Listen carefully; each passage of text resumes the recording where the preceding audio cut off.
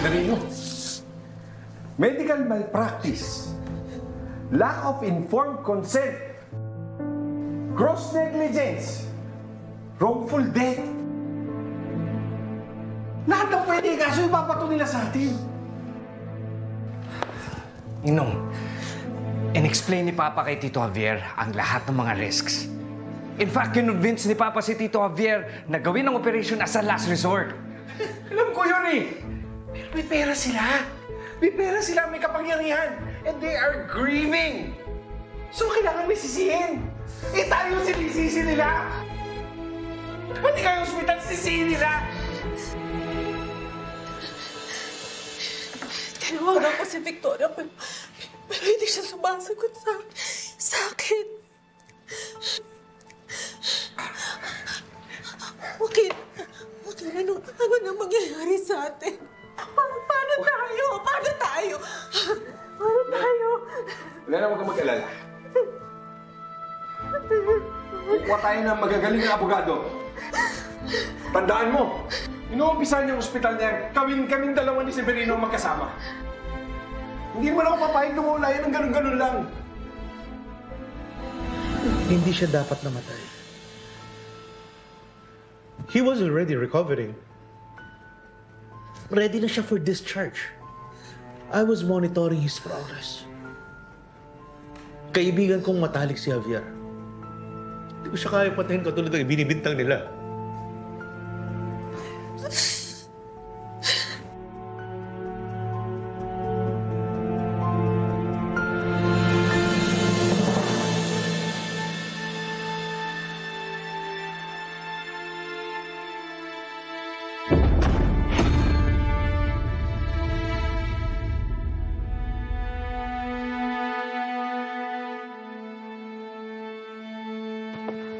Kompleto na to. Lagay mo sa kotse.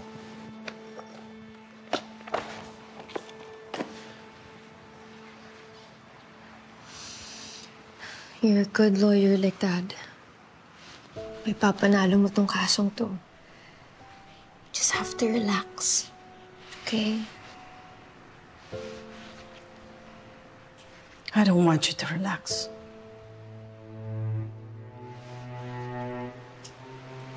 I want you to be a monster.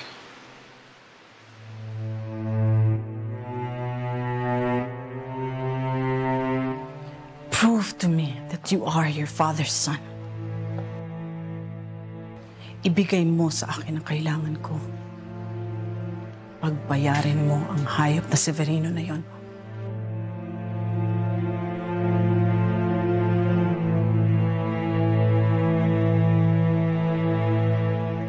Hindi mo na kailangan sabihin sa akin yan.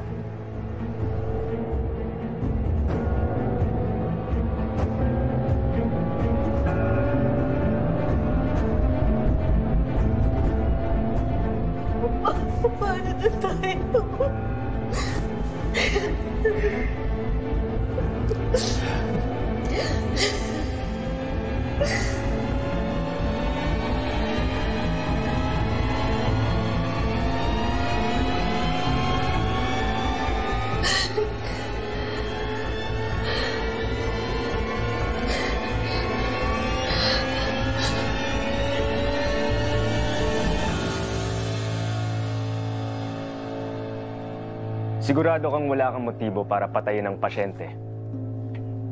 Si Javier Buencamino. Lucas, kilala mo ako ng bata ka pa.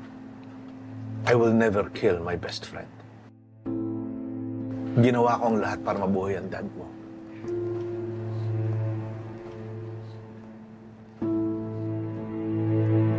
Problemado sa pera ang ospital. Hindi ba?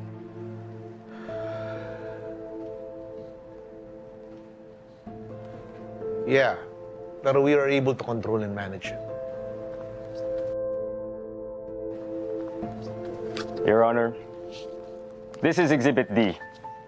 The last will and testament of my father na binago niya days before his operation.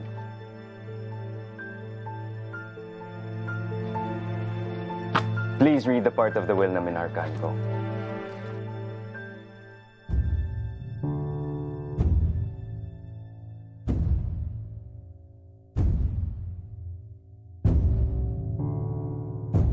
And in the event of my death, a portion of my estate, specifically 15%, is to be bequeathed to Salazar Medical Center, owned and operated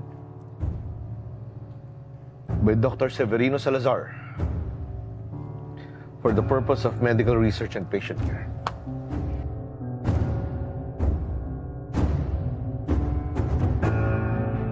Did my father inform you na binago niya ang kanyang will, making your hospital a beneficiary in case of his death?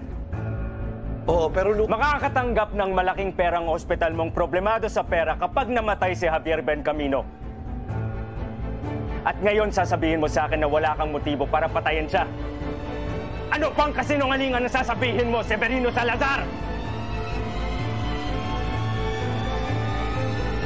Walang kasalanan si Dad. Ginawa niya ang lahat para i-save si Tito Javier! Order the court! Philip. Escort that man out of the courtroom. Sinungaling ka talaga, Bueng Camino! Order the court! Nandun ako! Narinig ko! Tama na, Philip. Philip!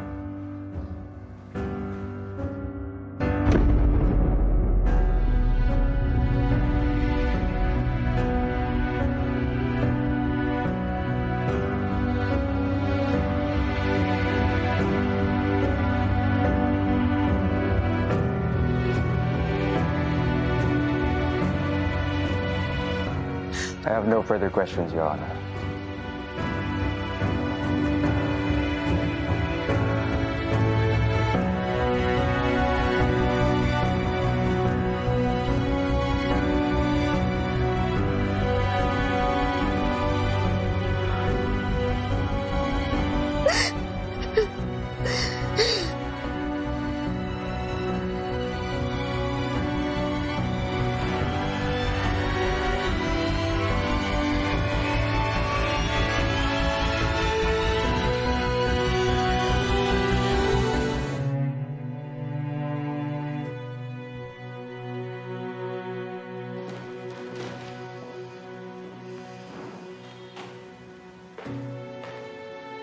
Dad.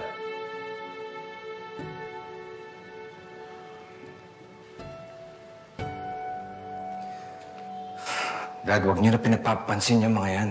It's all noise. Mapapanalo natin to. Si Lucas yung mga kinukuha niyang mga witness na nagsasalita, binabayaran niya lahat yon. He's desperate. buong buhay ko. Wala kay bang gusto kundi maging doktor. Makatulong sa iba. Minsan pa naginip. Hindi ko inakalang aabot sa ganito. Dad, Huwag kang panghihinaan ng loob. Kahit na hindi umaayon sa mga bagay. Huwag kang tumulat sa akin. ano ba yung mga pinagsasabi ninyo? Lucas is getting in your head. Alam niyo naman na hindi totoo yung mga sinasabi niya. Basta magkakasama tayo, ikaw, ako, si Mama. Kahit anong gawin ng mga buwing kamino, we will survive this. You know what? Magpapahangin lang ako. You should also get your rest. We have long days ahead of us.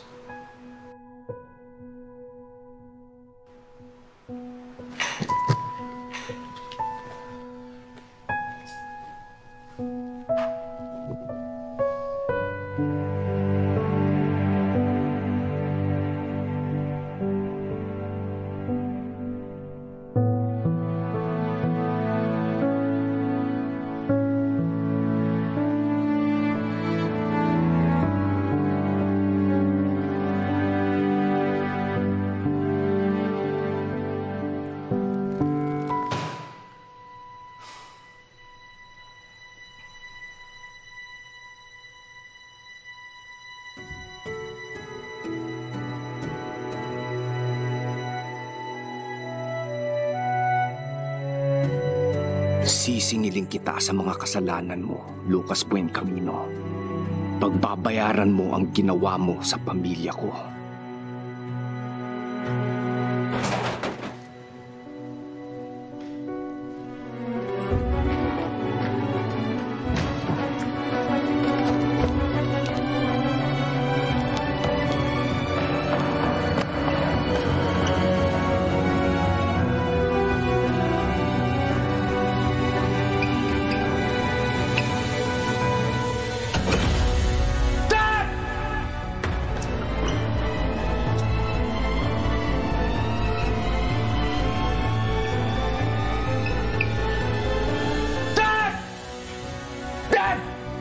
Dad!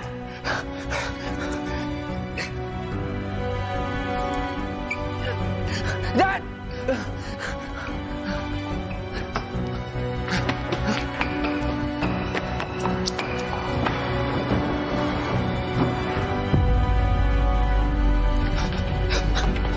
Dad! Dad! Dad! Dad! Dad! Dad! Dad! Mana kau nak tolong? Mana kau nak?